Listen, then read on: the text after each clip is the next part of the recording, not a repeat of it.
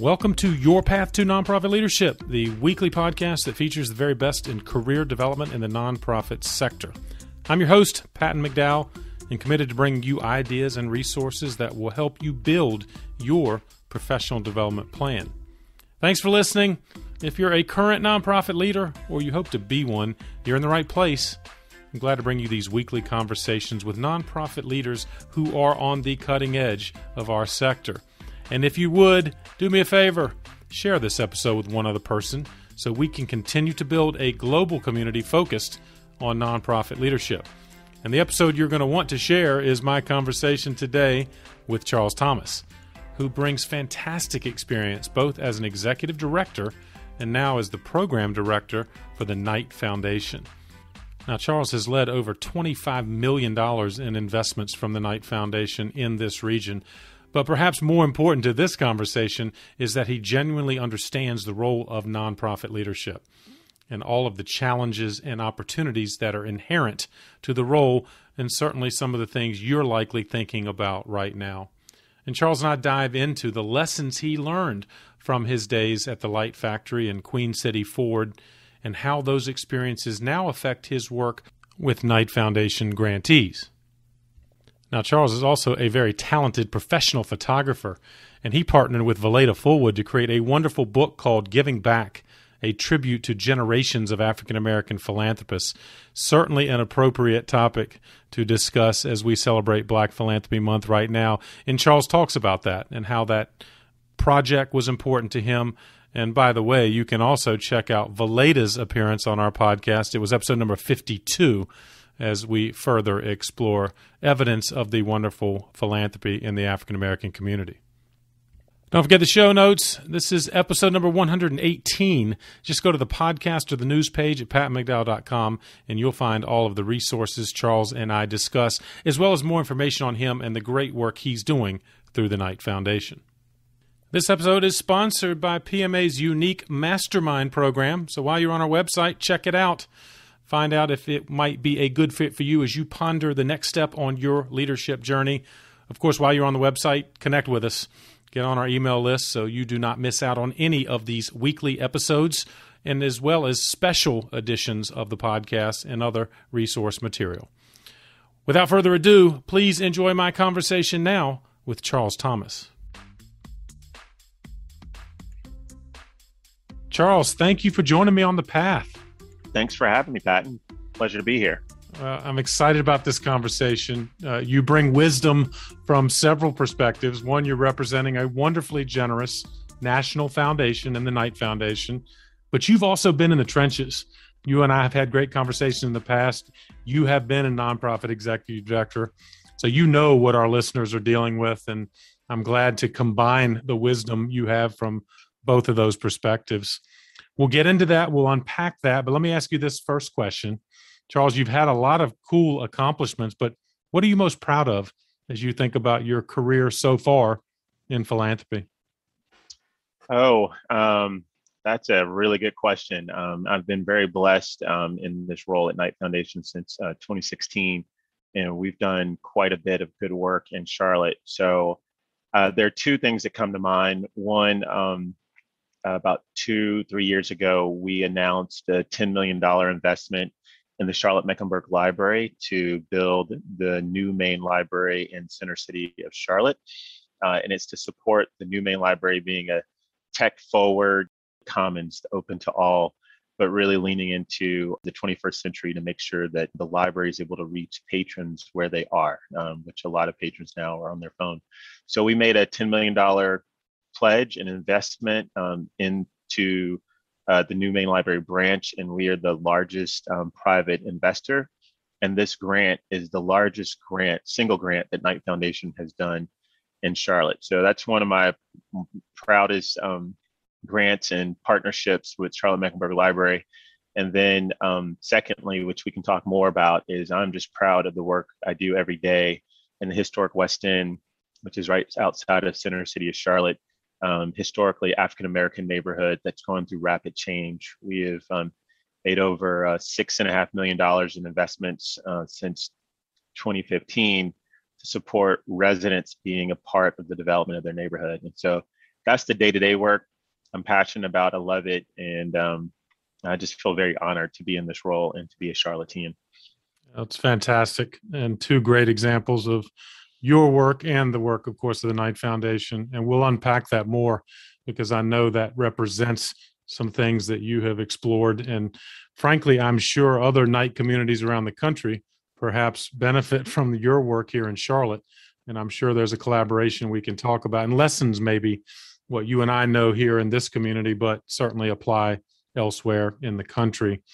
Um, Charles, I've asked a lot of my guests, in fact, just about everyone, how do you stay organized in this, particularly this new hybrid world we're both trying to figure out? I'm curious if you have figured out anything that might uh, benefit our listeners. I think my assistant wouldn't say that I've been staying organized. Um, uh, I, I, have an assistant, and it's a very wonderful thing to have mm-hmm. someone who can assist with calendar and work. Um, she makes fun of me because I have, if you were to look at my desk right now, all these these tabs, these notepads. Um, but ultimately, the what I try to teach my my sons, it's about writing it down. You have all these ideas, all these thoughts. The the more you can get it down on paper and organize it by day, um, by priority, uh, so that's a key component of what I do, and and I've got you know the notepads to prove it. And then I use my phone very strategically for calendar um, uh, meetings, but also for reminders. Um, so right. I really um, leverage the reminder feature um, on my phone, um, and um, and I just use my technology to keep me organized. Like even from taking my notes and being able to find a conversation I had a year ago two years ago, um, I can quickly do that and kind of get up to speed quickly in a particular conversation. So those are a few few ways I do it. I think it's basic, but it's surprised that people don't write. A lot of people try to hold things in their heads, and that's just it's just not work. That's a recipe for disaster.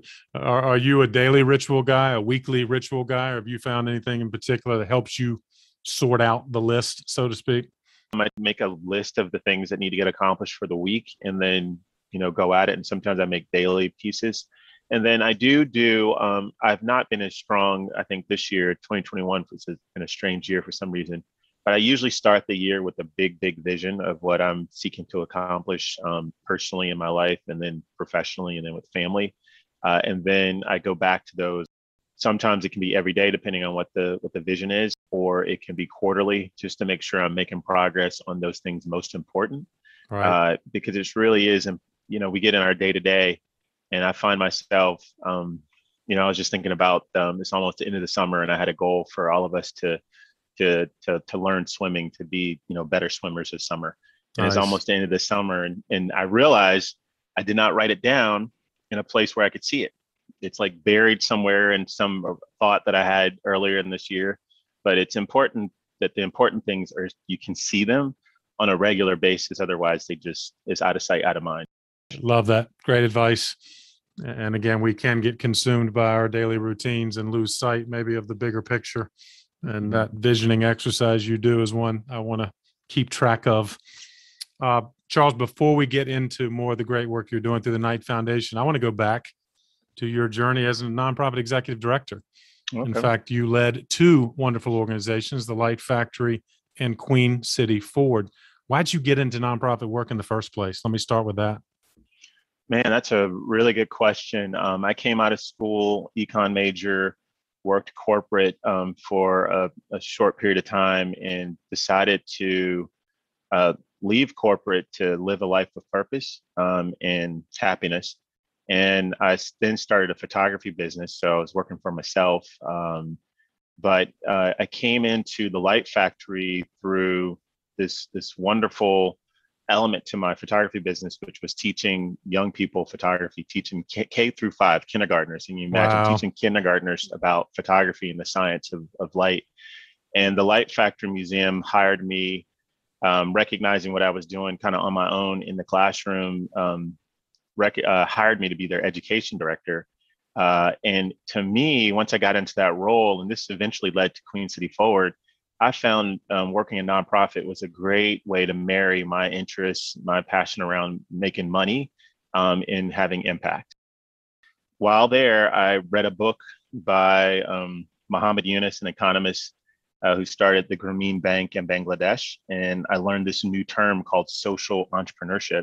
Right. And I realized that there was a whole industry around, you know, finding innovative ideas, um, monetizing those ideas, and doing it in a way that serves, you know, people, planet, and profit.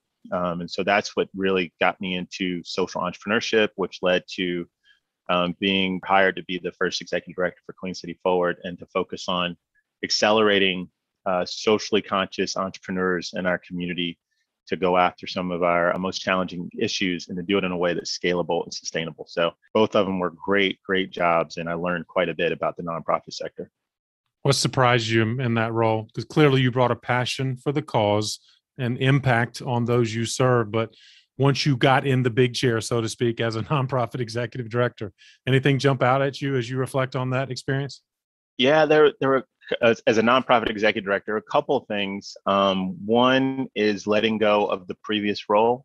Yeah. Um, I've been, um, you know, going from working for myself to then working at the Light Factory as the education director, where at first, that first year, I was going out and teaching kids photography. Yep. And then the second year, I was like, wait a minute, what if I were to find five other people to do what I'm doing? I could impact more kids. And so same thing at Queen City Forward. I went from, you know, being someone that can design photography programs to where I was designing entrepreneurship programs. But then I realized it's like, wait, wait, wait, wait. I don't think that's my job anymore. I think I'm supposed to go, you know, raise money, be the face of the organization, work on strategy. So surprisingly, it's the hardest part. It's lonely, but sometimes there's a certain kind of um, mourning or letting go that has to occur of that previous role and really finding a way to lean into you know that stretch goals those those stretch things that you have to do and it you know and i don't know why it, was, it came to me as a surprise but money is a big you know is a is can be an elusive thing in a nonprofit uh, and there's not a it feels like there's not an abundance of it um, and so realizing and understanding what it takes to as an executive director to really stay focused on the money on fundraising fundraising um, when I was really more interested in, you know, working with the entrepreneurs, designing, you know, calling the mentors, calling the uh, the speakers to do an event versus raising the money for the event. Um, right. So, so th- those were some surprises for me um, and some learning edges for me. You think a lot of our nonprofit colleagues and friends, Charles, uh, struggle with that. They they start in the program side, you know, impacting literally the constituents that they serve. But when you move into leadership, I thought you made a very interesting point there. You had to disassociate in some ways from that programmatic area that you first got involved. Is that something you see now as a funder, and is that a challenge? I think it can be, particularly new nonprofits and uh, new folks who are socially conscious trying to solve a community issue. They're so caught up in the possibility of doing good and having an impact um, that they don't think about the, the financials of their their business and yep. a lot of people don't think of nonprofits as businesses and they are they're just incorporated um, under a different tax status which gives them some business advantages mm. yes, um, right. that if they understand that they can leverage and those who do do and i would say that it's not even just a nonprofit issue it's anyone that is excited about even artists they're excited about making their art but they're not excited about selling their art or doing the business of it. Right. So um, it's something that um, I um, I'm thankful because I've always enjoyed this idea of of making money, um, but it I, I get so um, saddened when I meet people who are extremely talented, whether it's you know their idea for serving the community is, is a really strong idea and they have a great work ethic, but they don't they run away from the money piece and it's yeah. usually because there's a bad um, association of what money means that money is bad um, it, uh, this you know the money is evil um, when i see it as just a tool for scaling impact and when i started having that as my mindset that hey you know with this tool this thing called money i can have make more of a difference then it, i was able to flip it from it being that money is bad or I'm having to beg for money that I've really began to go, I'm really, you know, creating value and and supporting my community in a bigger way because I'm I'm thinking about um, it's really thinking about it in a higher way and not getting stuck on, you know, the business side and really and understanding that the business side allows me to scale.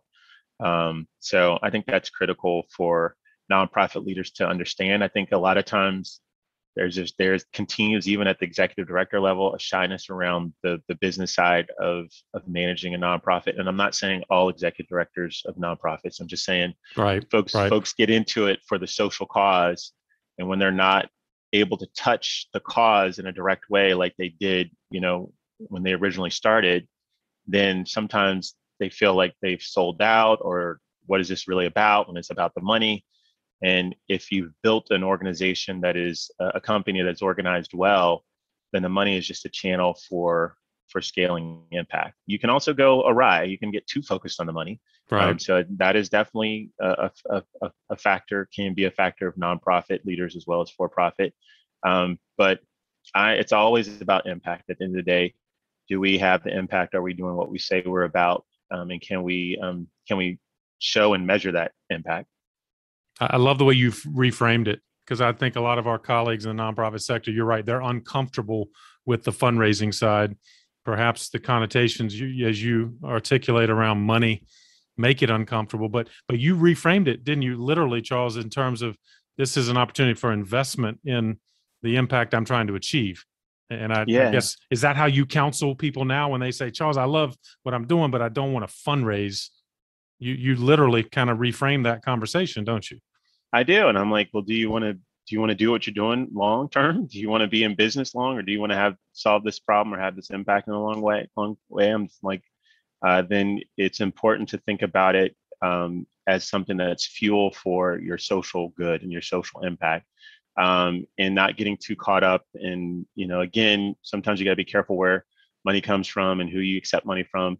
Um, I think that's great, but if I've also met people that are so moralistic about it that it blocks their ability to to to grow um, and yeah. do their work. Um, and so the once I think it's understood that um, we're providing value as nonprofit leaders, um, and then really for me, I mean, this is something I learned from you. You know, once I flipped it and I and I began to see that. Well, I think before I flipped it, I realized that I had I had no where where to go, but um, but uh, uh, to raise money because we were running out of money. And so right. if I didn't if I didn't raise money, I was not going to be able to feed my family. And I think it's important. Um, I think it's a, an art of war quote quote about burning the bridge behind you. Um, that is important to to forge ahead. Um, and once I kind of leaned into that, this is what I'm supposed to do in this role. Then you know I went to folks like yourself and I asked you know experts in the field of fundraising. I said, how do you do it? And that's where I learned about relationships and fostering partnerships with funders, understanding their interest and seeing how they align to my interests, um, and recognizing that funders um, uh, that um, that that's a critical component to building any relationship is just listening and understanding everybody's interests and that it and don't take it for granted that they just because you're i think when uh, they're even when i took this role i think there's this idea that when because you're nonprofit someone's going to give you money yeah. and it's just it's a lot more um, it's, it's a lot deeper than that. And just because you're a foundation you're going to give them money. And it's just a lot deeper and strategic than that. And so um, it's critical to in all cases to take time to get to know people and understand that getting to know people takes time. So you may not get the money in the first request. And i really started building a structure around meeting with certain people once twice a year whether they gave money or not just in terms of building relationship building social capital and um, and helping them stay aware as to what I'm doing so that they may tell me about, if not them, who else may align to my work. Yep. Get them to start thinking about me, you know, I'm top of mind. And so that was how once I kind of flipped it into a game, understood that I'm bringing value.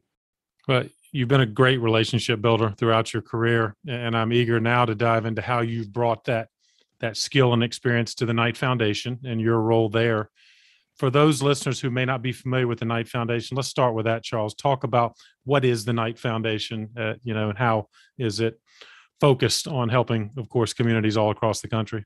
Uh, Knight Foundation, the, the full name is John S. and James L. Knight Foundation. We were started by John S. and James L. Knight, who were both um, brothers and newspapermen. Uh, they owned newspapers across uh, the country, and at one point had the one of the largest newspaper companies in the country. Uh, their um, newspaper uh, uh, were in newspapers were in 26 cities, and so when um, they passed away, and the foundation was formed, uh, our mission is built upon um, fostering more informed and engaged communities. So very much journalistic, and um, just as our founders were.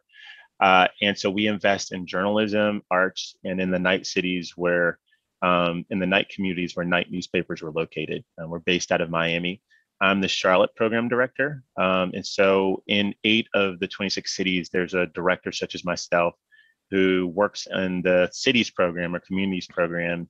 And we have an opportunity to design our a strategy for how to foster more informed and engaged communities. And our strategy in Charlotte is focused in a neighborhood uh, geographically outside of downtown Charlotte um, called the Historic West End. Historically, um, African American community uh, that is currently going through rapid change. Um, prior to that, was um, a community that was experiencing, you know, back in its day, was a really, you know, um, vibrant community that underwent some some challenges, and now it's seeing a resurgence. Um, you know, yet it's fraught with the challenges of balancing growth and making sure that historic and native people that were there um, benefit from um, the development. That's fantastic. And uh, uh, making a note here that we will certainly link in the show notes uh, more about the Knight Foundation and the work you're here doing here in Charlotte. I guess tying back to your earlier comments about now you've been on the side of the fence to raise money.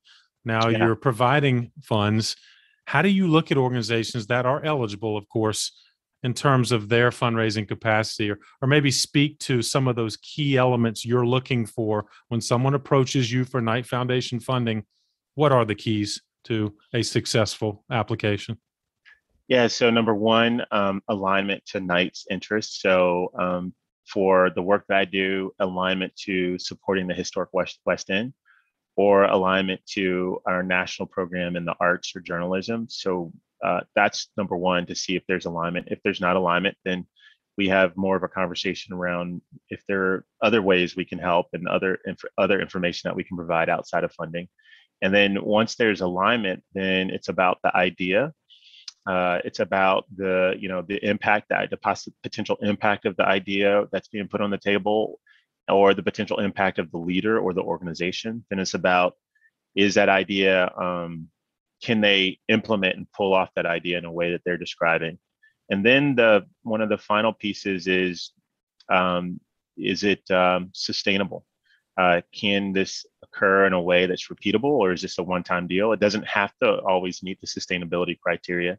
Um, and so, so those are you know, we first look for strategic alignment and then we look for the impact um, and make sure and making sure that the, there's the right person, individual leader or team to bring that impact forward.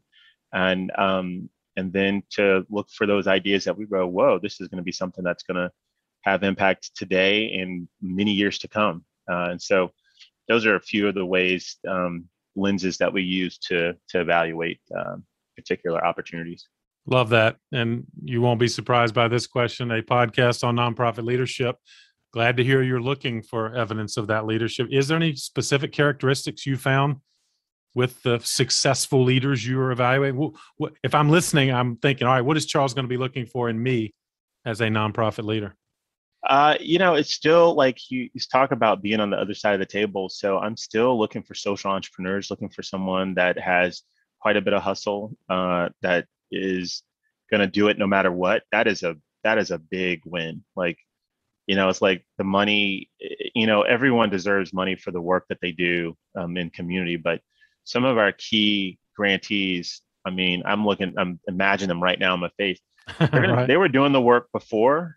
They will do the work you know, with Knight money, they'll do the work without Knight money afterwards. Yeah. So um, something I didn't mention in terms of how we evaluate, it's like, is there momentum around the idea, or is this just something that's sitting out there by itself? You know, is there other momentum to make sure that this is going to give the returns, the impact returns that we're all wanting? And so you look for an entrepreneur similar to, you know, maybe a um, we consider ourselves social investors, but you're looking for a team and an individual that believes in the idea, is dedicated to idea. Sometimes you're wanting them to quit their job to do the idea, um, and um, uh, and then they're um, making what do you call them? Um, they're taking calculated risk.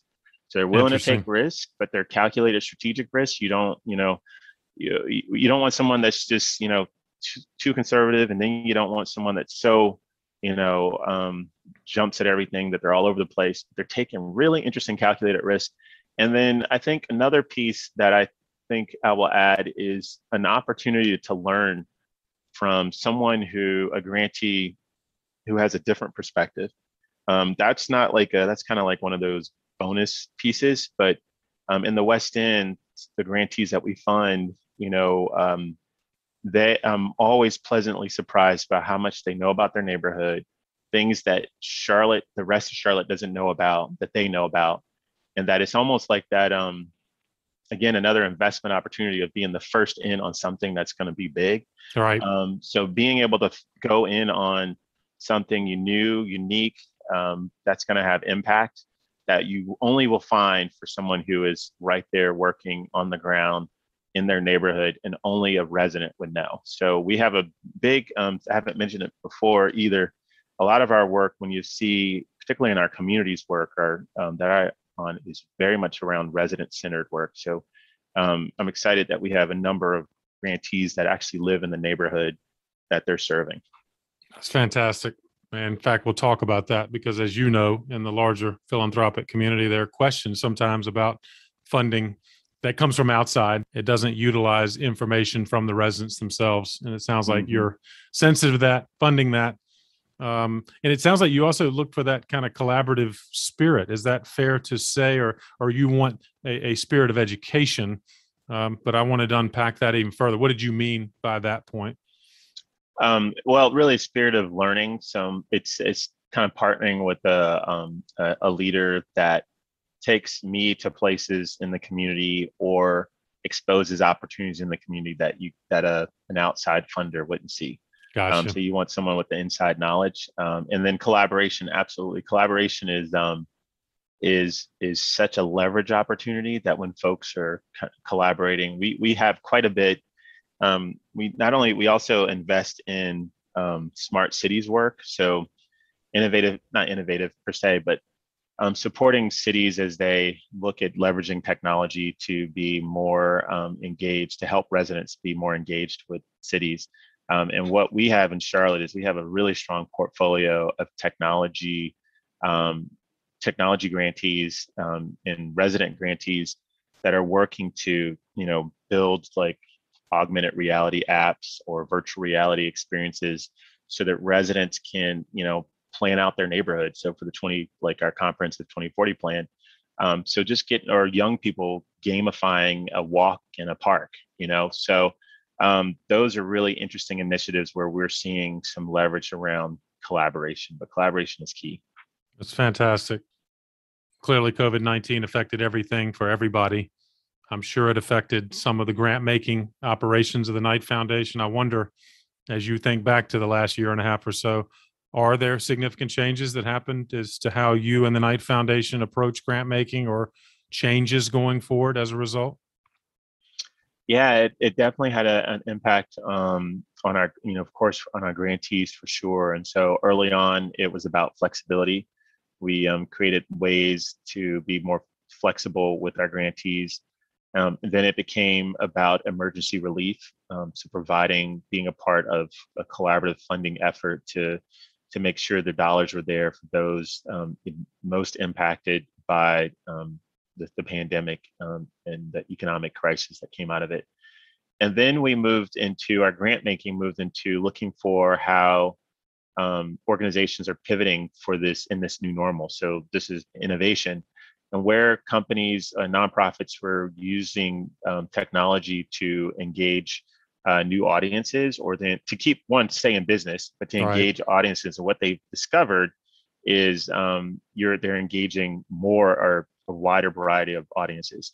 Of course, we also ran into the challenge around the digital divide. So um, for us, it it it affirmed some things that my CEO was, um, who you know is very much a future oriented um, where you know seeing what how disruptive technology has been to journalism, understanding that technology is the new um, it's kind of the literally the new world and where people are shopping buying is where they're at yep so um, you know covid really just forced all of us you know, to this day, here we are on Zoom, to move away from meeting in person to using technology to be in communication. Uh, and so our grant making began to look for more of those opportunities for with um, in in creating um, funding and incentives and funding um, opportunities for um, for our organizations, for our grantees, for for those that we think are critical to fostering informed and engaged communities, to really think about how they might go digital and how they can leverage digital to you know take their work you know to the next level, such as you know the, the work we do at the library. Yeah, I love that example. In fact, I was going to ask you, the library certainly represents that philosophically as an investment for the Knight Foundation. And before we get into some of the other complexities that you know better than anyone, let me ask you a couple of philosophic questions about your grant making. Um, what was and maybe is going forward your approach to just operating grants?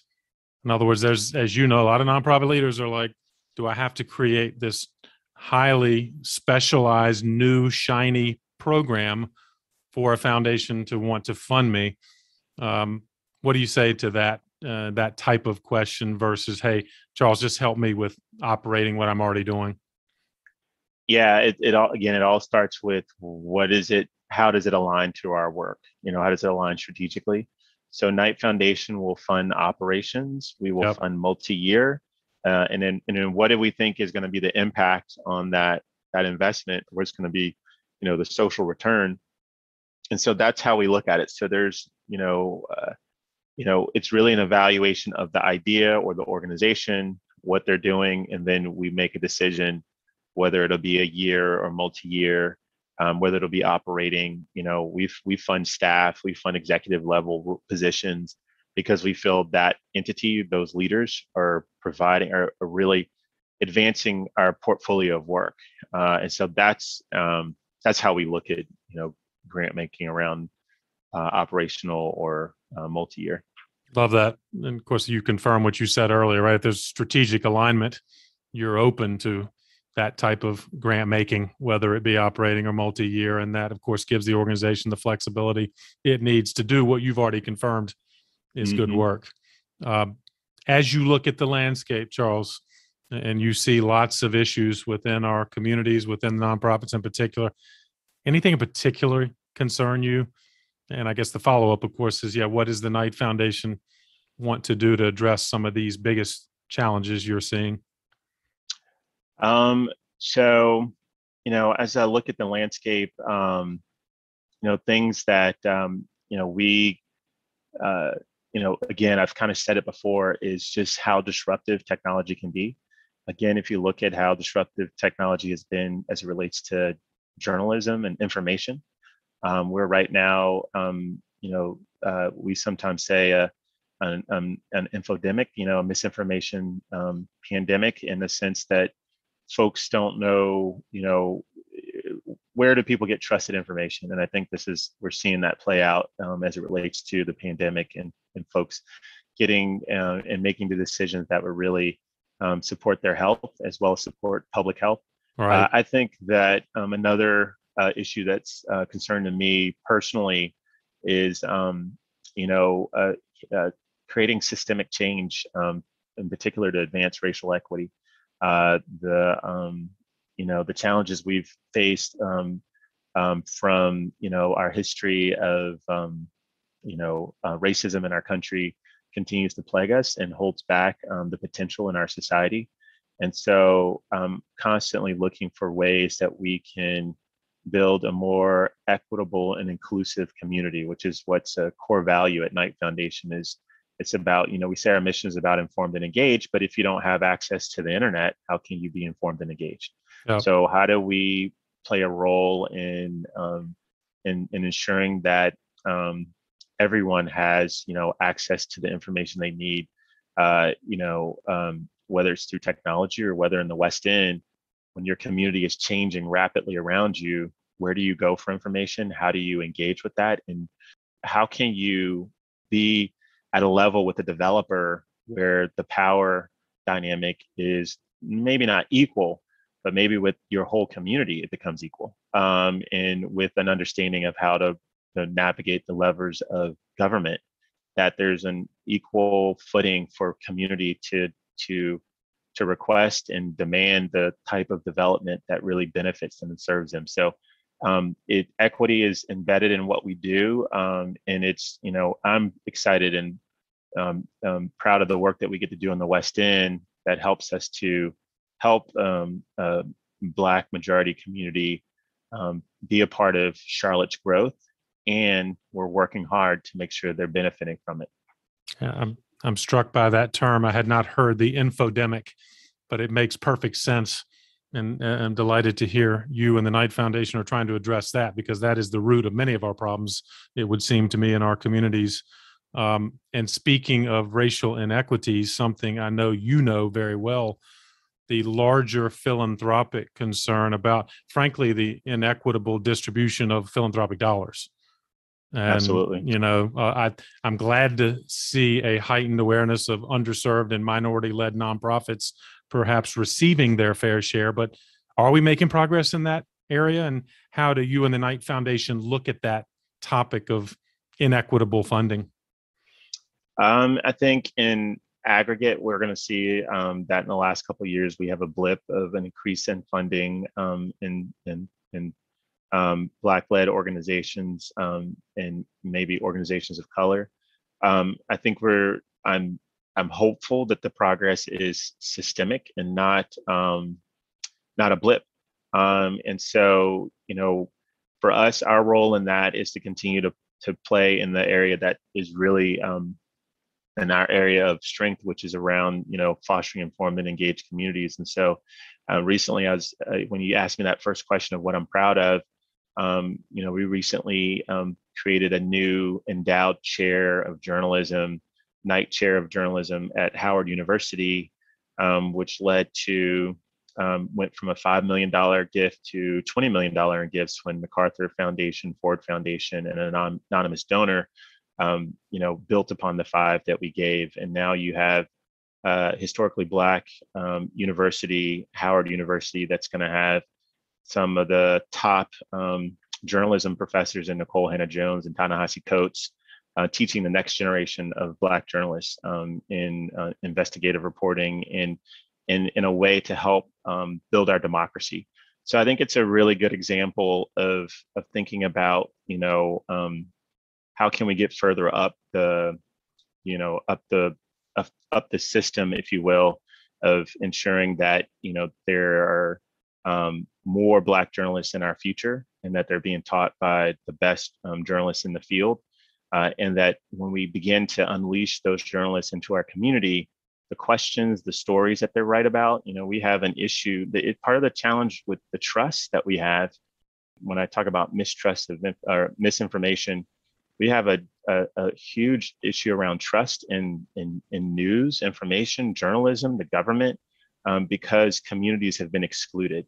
Yep. And so as we help to build more, um, to expand the, the, the, pipeline of talent and expand who um, is writing stories and writing narratives, which we think that's not that big a deal, but it's a huge deal in our information society, then we will, you know, begin to help inform um, the wider community about um, what the opportunities are about how to do the systems change that's needed when you talk about policy change and you know journalists are a part of the front lines of informing us about what our government is doing and how we can you know make decisions that really advance our communities so uh, so that's something i'm proud of. It's it's something that concerns me. It's something that we will have to stay vigilant um, with um, and um, and hopeful and recognize that this is a marathon.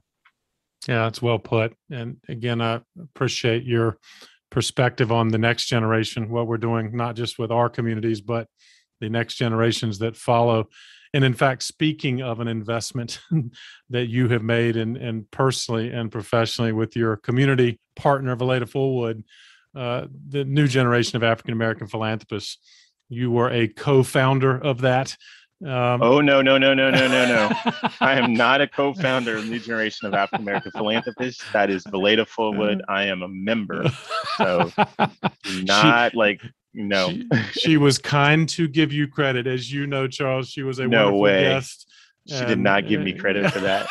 what what I will take credit for is that Valaida and I are um, are the creators, and maybe I can even be a co-creator of this. I was the photographer for a book called um, Giving Back, um, a tribute to um, African American um, philanthropy and philanthropists, and uh, the exhibit, The Soul of Philanthropy. So I will take credit for that, but not. oh, All no. right. We will re- retain. I mean, full credit. I mean, maybe put her, bring her on the show. Maybe she'll like. Then I'll I'll take the credit from her, but not no until I hear it from her. uh, we'll have to go back through the show notes of Valaida's appearance on this podcast. Okay but she does indeed give you great credit. But you were part of a group, and I wonder if you could speak to that. Appropriate, certainly, as we are now currently in Black Philanthropy Month, August of 2021. Talk about that organization, what it means. And it strikes me again to your point of this is the next generation investing even further, but maybe you could speak to more about what NGAP was trying to do and is going to do going forward. Oh, absolutely. Um, so, New Generation of African American Philanthropists, or NGAP for short, is a giving circle. Uh, we have, you know, between 30 to 50 members um, at a given time. Uh, we give a dollar a day um, to, um, so $365, and we pool our resources to give out grants locally in Charlotte. Uh, we've just celebrated our 15 year anniversary. Um, I became a member in 2011. It is um, a wonderful organization that is an opportunity for us to learn about philanthropy, and to celebrate Black philanthropy uh, and to uh, to together live, you know, the meaning of philanthropy, which is the love of humankind, uh, and we do it together. And so you think about a book club, you think about an investment club. That's what it is to be in a um, a giving circle, and and for us to be in um, in NGAP. And so uh, out over 15 years, it's been a way for us to to learn together. We are now also in a stage of um, of amplifying the stories of Black philanthropy through the books that we've published, the exhibits that we've presented, as well as the civic engagement events that we've held. And then this year, we're taking it to the next level um, with um, um, the release of, uh, I don't know if I'm supposed to talk about that. But anyway, we're, we're, we're doing some research on Black-led um, organizations in Charlotte, and we have um, some really good work that we're looking to share with the community around the data around that, the dirge of uh, funding for Black uh, organization led organizations in Charlotte. And then we um, annually celebrate Black Philanthropy Month, um, as you mentioned. And uh, last year, uh, we celebrated on the local level as well as Valaida is one of the co um, um, producers on the national level. And, um, and we're a funder of that national effort. And what we were able to do last year, even during COVID, virtually, um, is we brought 200 um, nonprofit leaders together and connected them to funders. Uh, and we have um, some really innovative ways that we want to continue that going forward. Um, so if, if folks have been listening to this conversation and the um, number of times I've said digital, um, well, you know, NGAP has some has some aims to to really be supportive, leveraging technology to, to help funders and Black-led nonprofits um, in Charlotte. And our goal is to increase that, that number, um, decrease the amount of funding to Black-led nonprofits, uh, and to increase uh, the understanding of those organizations, increase their leadership capacity um, and their social capital, uh, all to advance our country, advance our city, um, to make our city um, a more um, prosperous uh, community, and I think make us more competitive around the world. That's, I think, the the inequities that we have, whether it be racial or economic, we're just leaving talent on the table. And if we can do that better than any other country in the world, we will be, you know, we will we will continue to be um, a strong nation going forward and a leader. Um, and so, don't. Uh, so anyway, I'll stop. I can continue to talk, but it gets me excited to talk about NGAP and Black Philanthropy Month and um, the the wonderful uh, wonderful colleagues um, uh, a part of that uh, the Giving Circle and all the great work we do. We're going to lift it up, Charles. It deserves uh, for everyone. Valaida, in particular, you and others that were part of it. In fact, Valaida was episode number 52. So I'm going to recall for our listeners that episode a great one and we'll as things develop charles we'll include that in your episode show notes as well as hers and hopefully we can play a small part in lifting up Black Philanthropy Month as it expands nationally and if not internationally, right? That's significant. What you all are doing here in Charlotte, I think you're seeing replicated across the country, right? Uh, we are. We um, we actually have um, uh, a group that is forming in Charleston uh, that we're helping to form, and we are constantly getting um, calls to speak and to support other giving circles in, in other other parts of the country. That's fantastic. Last question, Charles. You've had wonderful advice for our nonprofit listeners, those that are current leaders of nonprofit organizations or those that want to be you've been down that path. I wonder any other final advice you'd offer to someone that comes to you and says, "Hey, I'm thinking about nonprofit leadership." What would you tell them? Um, well, a couple of things is um, mix. Uh, uh, one, balance is critical. So just watch, be careful of, of burnout, be careful of being so caught up in solving that problem. Uh, two, it's a marathon. This is something I learned at Knight. I thought I was going to come in here and, you know, with with what I thought was a lot of money, um, changed all of Charlotte, and I quickly had to slow it down and get strategic and get really focused on what I can do. Understanding our spheres of influence is so critical to to maintaining that balance. So those are just a few few thoughts. That's fantastic, and like other comments you have shared, the advice is very helpful. I know for our nonprofit colleagues listening and Charles, if I can ask you for one parting gift, in addition to all that you've shared, that we will put in the show notes, how about a book that has been meaningful to you on your professional journey that you might recommend for our listeners? Sure. I've got a couple of books. Um, the most recent book that I, I, read is How to Be an Anti-Racist. Oh yeah. Um, and I think that's critical if we're going to really be in a in a in a and, and create a more inclusive and equitable society, understanding what racism means and how to be anti-racist. And then the second book is um, Switch. Um, which is a really good book about designing for social change. Um, and it's been really helpful to think innovatively about solving community issues. Fantastic. Two good ones to add to the collection of wonderful recommendations. Everybody needs some summer reading right now, Charles. So you've given them two more to add to their list. Uh, where can people find out more about you and the great work you're doing through the Knight Foundation? Sure. You can um, follow me on Twitter and Instagram um, at C Thomas CLT. Um, and you can also learn more about Knight Foundation at www kf.org or knightfoundation.org. Uh, and um, and I'm always happy to uh, hear from folks. Feel, feel free to uh, message me or email me. Charles, thanks for sharing your wisdom, and thank you again for joining me on the path. Thank you so much, Pat, and it's a pleasure to reconnect. Well, I hope you enjoyed this conversation with Charles as much as I did and came away with some practical ideas that can guide your leadership journey in the nonprofit sector and perhaps enhance that next conversation you have with a funder that will allow you to utilize some of the words of wisdom you heard from Charles. Don't forget about the show notes. They are available on our website, pattonmcdowell.com. It's episode number 118. You can find out more about Charles and the great work the Knight Foundation is doing locally here in the Charlotte region and all across the United States. As always, please share this episode with someone else on the path. If you haven't already, don't forget to subscribe to the podcast. You can go to the podcast page again at pattonmcdowell.com and you'll see links to all of the primary podcast platforms. Don't miss out on any of these weekly episodes. They come out every Thursday, as well as bonus features we're producing at least once a month. Once again, if you like this episode, you need to check out Charles' partner, Valaida Fullwood. She had a wonderful appearance on the podcast. It was episode number 52. So check that out and learn more about Valaida and the great work she's doing.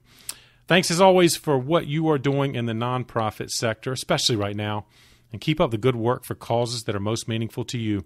I'll keep bringing you content that can help you do it even better. Have a great week. I'll see you next time on The Path.